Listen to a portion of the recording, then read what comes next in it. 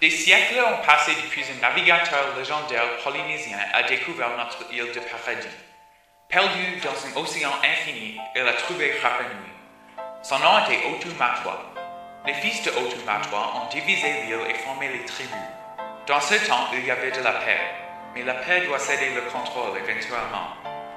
Un troupeau d'hommes étrangers a éventuellement découvert Rapa Nui et ses tribus. Ce groupe s'appelait les Anomis. Ils avaient un carrefour beaucoup plus musclé que les tribus locales et aussi ils avaient les oreilles longues et percées.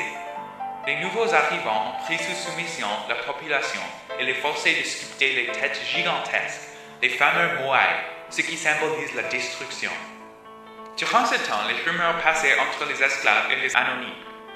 Les habitants originaux ont pensé que les anonymes allaient les tuer. Les tribus esclaves ont révolté et tué tous les anonymes. Durant ce temps, il y avait beaucoup de batailles et beaucoup de guerres. Pour empêcher les personnes de concentrer sur la guerre, une nouvelle légende était créée.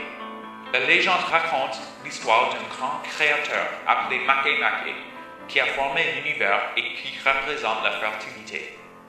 Accompagnant le festival des oiseaux-hommes, c'était l'intention de la légende de donner l'espoir aux gens.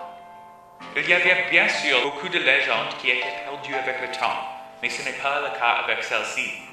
Les habitants ont raconté cette histoire à leurs enfants pendant les siècles et maintenant nous pouvons tous les entendre. C'est la manière des Rapanui.